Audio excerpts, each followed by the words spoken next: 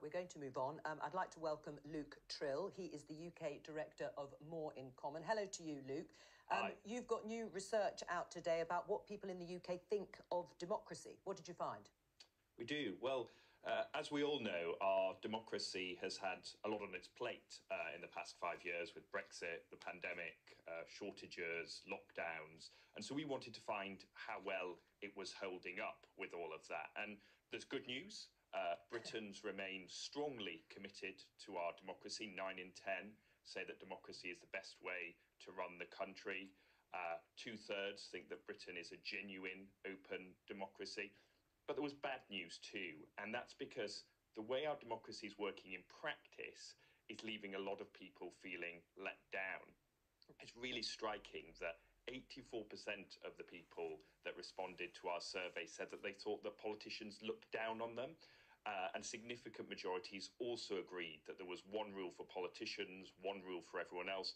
And there's also a growing feeling that we got from our focus group discussions that people think that the democratic system's rigged against them, that it doesn't deliver for them, it's not making a positive change in their lives. So, optimism about democratic principles and pride in our democratic heritage, but a really worrying trend of disillusionment in how it's working out in practice. I mean, how do views on democracy in the UK compare with other Western countries? So the good news is that we have that strong commitment to uh, democracy, which you don't necessarily see everywhere around the world. For instance, we looked at attitudes in France, in Germany, and the US. And when you look at France, actually, people are much more likely to consider non democratic alternatives than in the UK. In the US, they're more likely to think that democracy is rigged against them and that it's not a genuine democracy. But what's really striking is that compared to our European partners, people in the UK are more likely to say that politicians themselves look down on them as ordinary members of the public. And that, that's a really worrying disconnect because it creates the space for populist authoritarians to come in and say, we will deliver the will of the people.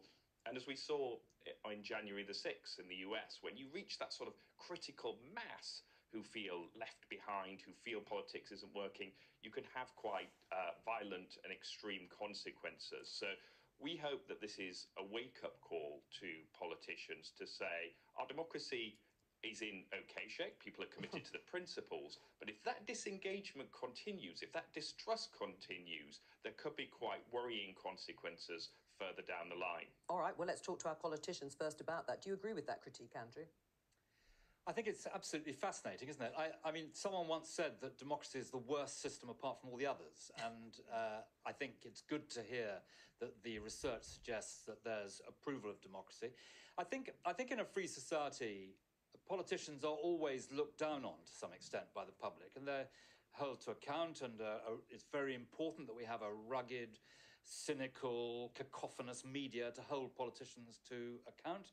Um, so, so I'm disappointed to hear that that uh, people think that politicians look down on them. I think that we are all of us the servants of our constituents, and if that is the result of your research, then we must look at ways of addressing that. I do think that. Um, you know, populism has clearly been rampant around the world recently. We, we live in an age where the international system is under great pressure. Narrow nationalism and populism is on the march, and I regret that very much. Um, and I also think that in Britain we are continuing to move towards a more presidential system. And we have, in British democracy works on the basis that the Prime Minister is the first among equals. And I think that uh, we need structures and mechanisms which put more power back into right. Parliament and ha- uh, make the Premiership less presidential. And I hope that there's quite a lot of us in Parliament who are worried about that. Okay. And I hope it's going to be an agenda that's going to emerge over the next year or so. Kim, do you agree with the uh, the critique from Luke? I think it's a brilliant piece of research and, and well done to everybody at More in Common for doing it. Yeah, I mean, this is one of the reasons I chose to put myself forward to, to, to enter politics because I think there's so much that needs to be done around engaging people with, with politics nationally and locally. I feel really passionate about the issue of political literacy. I'm in a school today talking to young people about what, what democracy is and how it operates, where decisions are made, and, and we don't know enough about that, I think. I mean, it amazed me during the, the by election, we had a 47% turnout, and apparently that's really good. Well, what concerns me is what are those 53% of people, why are they not coming out and voting? Why do they not feel that politics matters enough to them to go out and, and put their, their mark um, on the ballot paper? So I think there's a really big piece of work to be done around political literacy, political engagement, um, getting people mm. into politics from different backgrounds, again, which is one of the reasons I put myself forward, you know, and, and, and just that disconnect between constituencies and communities like mine in Batley and Spen and, and the corridors of power. So I think research like this is really important, but I think the thing is now is what do we do with it and what responsibility have we got as politicians to make sure that people do understand how important it is to their lives. And, and part of that is our responsibility to how we behave and how we interact with people. You know, I'm spending all my time at the minute, every minute, going out and speaking to people on the ground, whether it's people working in schools or the NHS or, yeah. or, or local businesses. We've got to have that piece of engagement there to, to help people understand how important it is to their lives. All right, Luke, you're nodding away. Just a brief response from you, and then uh, I'll open it up.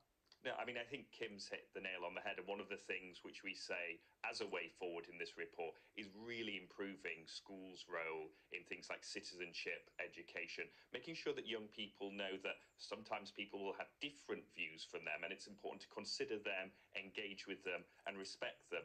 Because actually, the poll found that Gen Z uh, which is those who are aged under 25, were the most likely to think that people who disagreed with them were wrong on the facts rather than just having a different opinion. So we think there's a really important role for schools, as Kim said, in educating young people about the importance of appreciating others' points of view and taking part in democracy as well.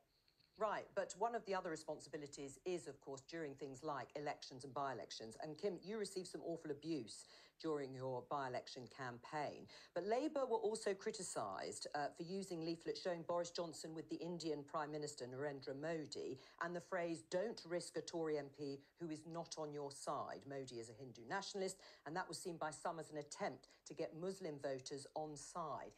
Is that sort of divisive tactic really helpful in terms of engaging the public? I think we do have to look at how we campaign. And I mean, on that particular incident, um, you know, we were looking at this from a humanitarian perspective. But I think you're right about the broader point about how we campaign and how we conduct ourselves during the by election. And because I was subjected to such horrible abuse and, and nastiness, it's really difficult to not get drawn into that yourself. And, and I tried my best personally and, and through the party campaign to rise above that. But it is difficult when other people are, uh, you know, going low. We, we do need to try and go high, and that's what we certainly tried to do. Right. And I don't think that's helpful. And it just disengages people. Frances? I'd, I'd, talk about some bread and butter issues. For me personally, I worry about um, uh, requirements for voter ID, making it more difficult for people, especially if they're not in safe housing to vote. I, th- I think that's something to guard against.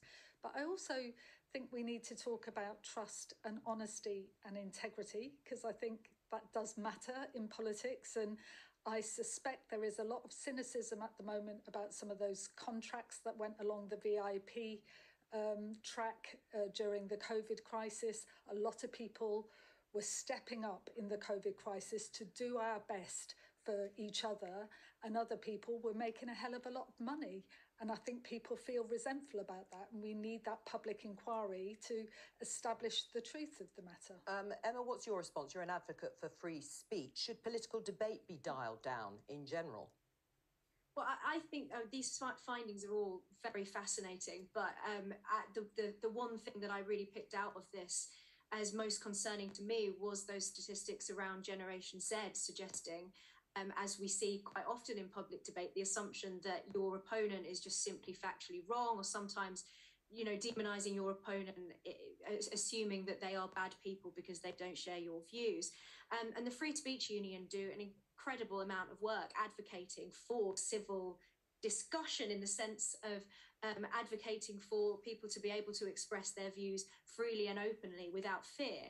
And I think that's really important. And some of the recommendations that I saw from um, this study, uh, it focusing on education, but also focusing on um, the conduct of MPs in the sense of, I, I personally, I think that it would be are good for people to try and demonstrate the sort of society that we would like to become. And so being respectful of other people's views, not trying to silence our opponents, not straw manning them, and instead steel manning them and behaving with good faith and trying not to enter into these sort of mudslinging um, oh. matches Uh, so I think that actually what I've taken away from this um, is that you know my, my fears have been confirmed in some respects, but it's only uh, made me uh, more sort of bolstered in, in in my belief that it's really important for us to continue advocating for free speech.